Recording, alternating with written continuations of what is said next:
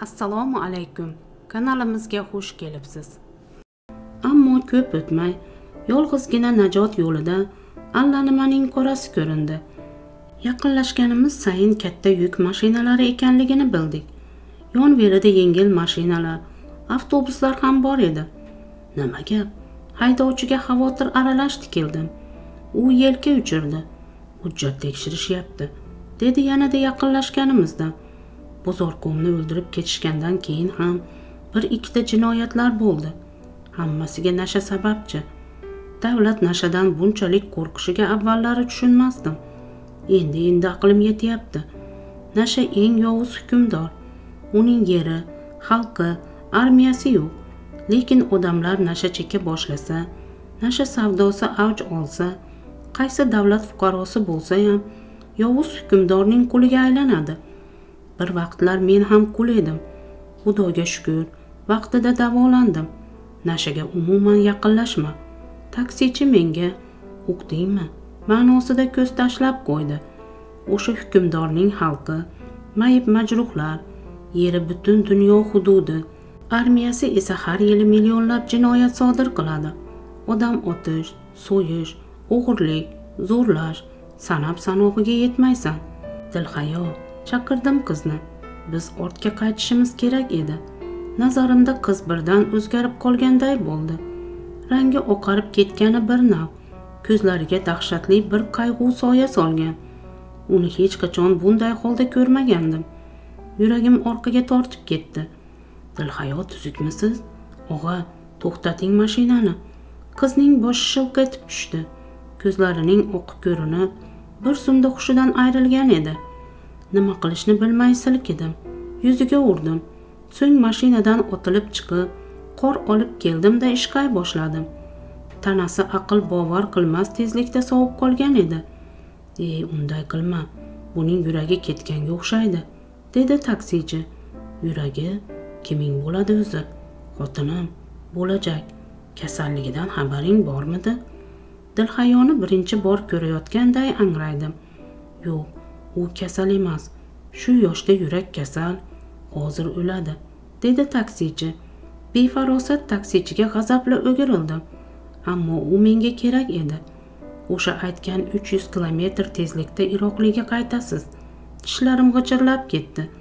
Agar yo'lda o'lsa shu kecha morgda tunaysiz ertalab shaxsingiz aniqlangach qarindosh urug'laringiz olib ketishadi.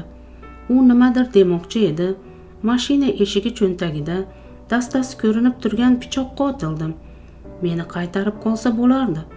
Og'zi ochilib lallayib turaverdi. Pichoqqa ishonmayman deganding qo'ng'illadi darrov. Kechirib qo'yasiz og'a. Pichoq qorningizni yorib ichak oshqozon jigarlaringizning ta'mini ko'ra olamanmi yo'qmi deb menga ishonyapti. Men unga emas qani bo'ling. Otib yubor qonsiragan bekorga qo'ling yugurmadi. U rulga o'tirdi. Mashina og'ir burilib oldi. Pichoqni derazadan uloqtirdim qo'llarim dilhayoni quchoqladi. Yuragi urishdan to'xtagandek vahima bosib keldi meni. Ayni damda haydovchidan kechirim so'rashni jon dilimdan istardim. Kechiring qizishib ketdim dedim past ovozda. Hechqisi yo'q uka bu cho'llarda bo'rilargina yashaydi. Bo'ri bo'lishni istamayman. Sizni aldagandim. Aslida shu murodga yaxshi bir niyatda ketayotgandik. Hech bir ish yomon niyatda qilinmaydi. Agar o'rtada muhabbat bo'lsa senga rahmat aytishim kerak. Pichoqdan xalos etding. O'zingiz otib yubora olmasmidingiz? Bilmasam uka shu yerda necha yillardan beri yotardi. Hech ko'nglim bo'lmagan. Xayolimda har doim kimdir hujum qiladiyu o'zimni himoya qilish uchun shartta pichoqni olib tomog'iga sanchib oladigandek edim menimcha bu o'zimning kasalligim emas shaharniki. Lekin shahar deganda uylarni ob havoni joriy qilingan tartiblarni aytayotganim yo'q. Men uchun shahar odamlar zich yashaydigan jinoyatlar uchun begonalik pardasi tortilgan panapastgan makon. E o'sha taksichi bir zumda aqlli insonga aylanib qolgandi. Jinoyat olami uning asablariga soya solib turar ekan mendan cho'chigandir.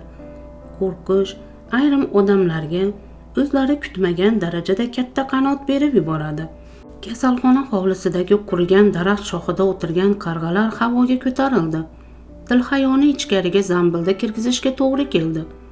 Begonalar kirishi man etiladi degan yozuv ostidagi eshik yuzimga yopilganda to'satdan lotereya chiptalari yodimga tushdi. Axir ular qizning kiyimi ichiga berkitilgan edi. Pasportim ham unda. Bir parcha qog'ozlarsiz holim ne kechishini tasavvurimda jonlantirishga da ojiz edim. Eshik ichkaridan mustahkam berkitilgan.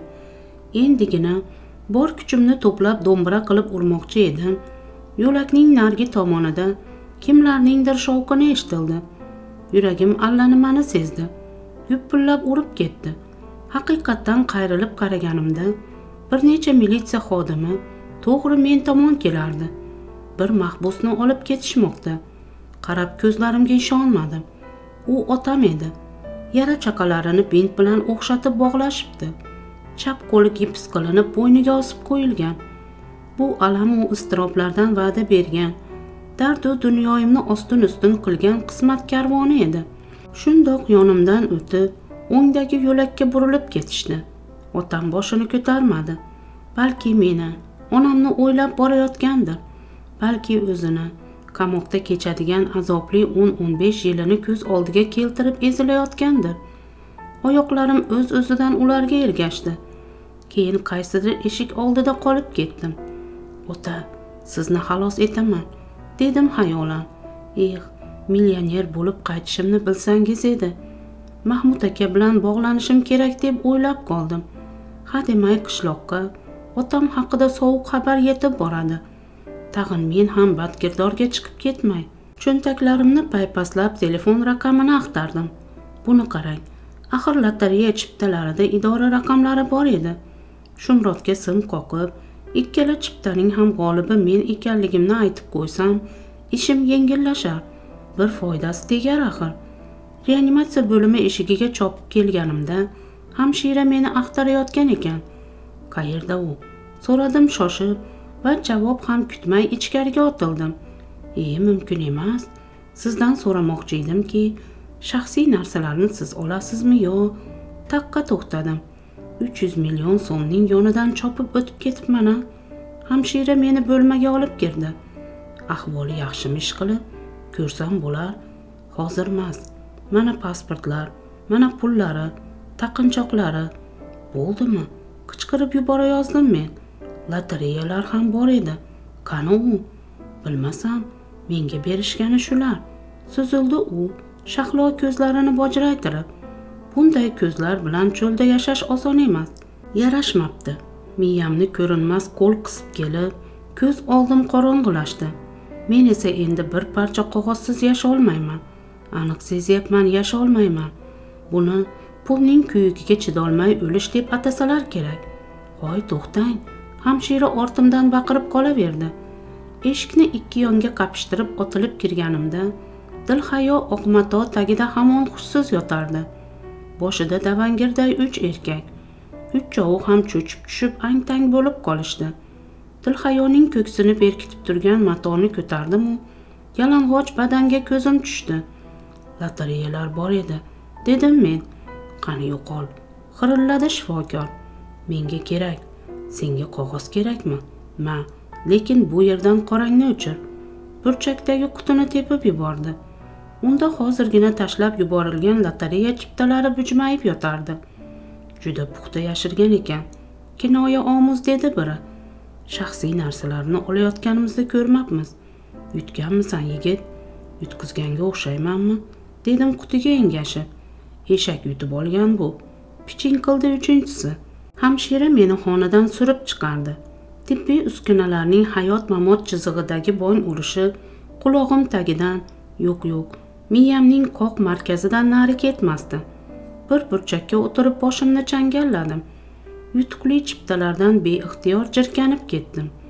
Ular axlatxonadan topilgan iflos qog'ozlardek tuyuldi. Baxtni his etishimga shu qog'ozlardan boshqa hech kim hatto yer yuzidagi milliard milliard odamlardan birortasida xalaqit bermayotgan edi.